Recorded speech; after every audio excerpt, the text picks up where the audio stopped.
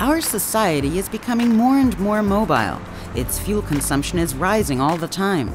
The oil companies are increasingly using biofuels in order to meet their legal quotas. Biodiesel B7 has the biggest market share, accounting for up to 7%. E10 petrol contains up to 10% of eco friendly bioethanol.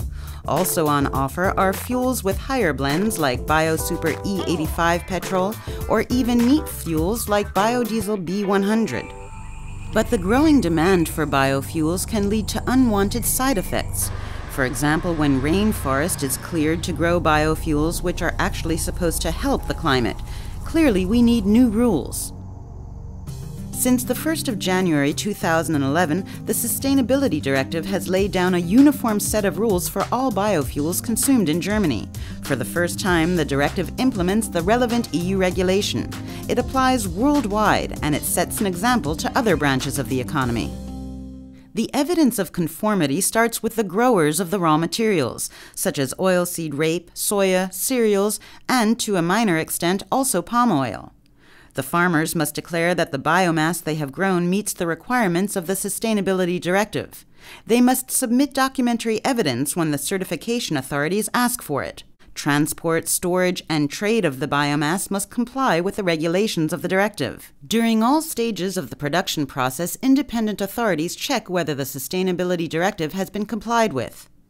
Checks are made in the oil mills, during transport, and during intermediate storage and the biofuel manufacturer must also reckon with inspections. Besides transport routes, energy consumption during the production process, and potential further utilization of byproducts are recorded. All these data are used to calculate the greenhouse gas balance. The final link in the chain, the biofuel manufacturer, collects all the sustainability documentation relating to the earlier stages of production. This also applies to foreign producers of palm and soya oil. Finally, all the emissions are added up. In total, biofuels must emit at least 35% less greenhouse gases than fossil fuels.